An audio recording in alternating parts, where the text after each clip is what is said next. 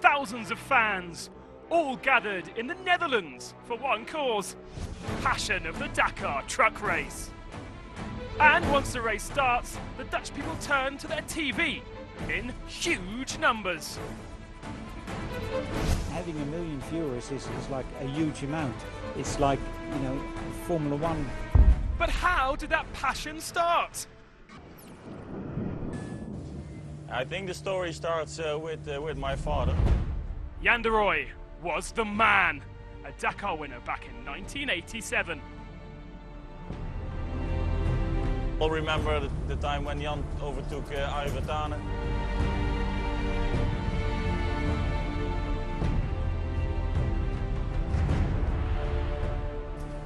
I think some, yeah, something started there.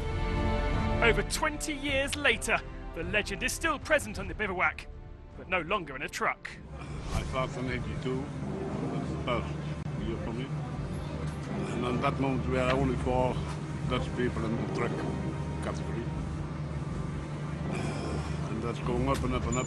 And television is coming in. It's going sky high. Jan became a real inspiration for so many in the Netherlands and even encouraged track stars like Tim Coronel to join in. Uh, Jan is my legend. And every newspaper piece I have from Jan. And uh, maybe it has to be that I'm here, and that's why. I don't know. The Dutch are known as being crazy, and there's no doubt the truck race is the most mad machines on the rally. The Dutch make up nearly half the field, and so for sure they've taken this to heart.